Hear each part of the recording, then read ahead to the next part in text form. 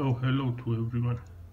Uh, in this video uh, we will see how to replace uh, the rear sway bar bushings on W210 chassis.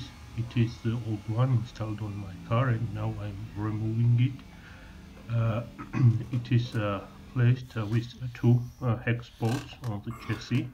You can see I have already removed it from its place and now I will remove the main bushing uh, the iron bucket uh, brackets secures it to the chassis. Here are the bolts. It is hex uh, 6 millimeters. You uh, must use Allen uh, socket with uh, 6 millimeters and then you will able to remove them. I recommend to use a swivel head uh, ratchet to do this job easy. Here are the new bushings which I ordered from Germany. Here they are, two ones. Uh, they are brand new and uh, now I will show you the part number. Uh, make sure if your car uh, does not have sport suspension you will need uh, these parts. Uh, here you can see the part numbers and they are brand new and original ones. So now we are going to install them on their place replace this old one and then tighten the bolts as uh, they should be. Here I already installed the new bushing on the rear uh, of, of, the car.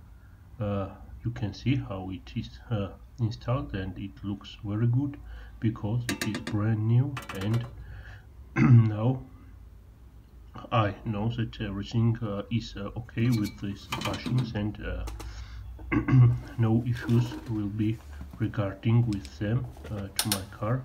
And now I will show you the old one which I removed from there. Here it is.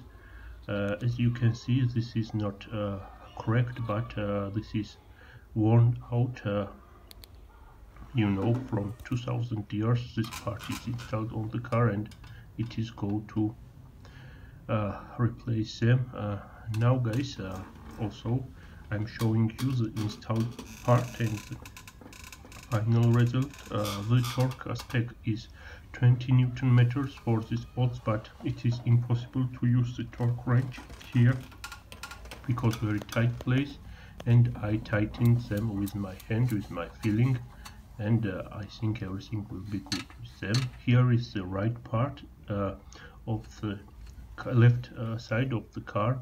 And also I installed the new bushing here. Uh, the procedure is uh, almost same uh, nothing uh, different and nothing difficult if you do the job very carefully. And here is the final result. Also tighten the bolts with my hand feeling. And uh, now I am very happy that the new bushings are installed on the uh, rear uh, chassis of my car. Uh, in addition of this video I will show you both of the old bushings how they look here you can see it as I already said they have no big cracks but it is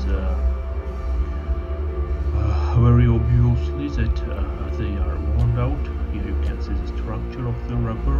Uh, it is not uh, condition uh, I gave 20, 12 euros for each in, uh, in Germany and I think it is worth uh, of every penny to invest in these parts and go and change them here you can see how they are warned and uh, little cracks also are there so guys this was a little video please stay tuned uh, subscribe and uh, see you in the next videos. Goodbye and thank you for watching.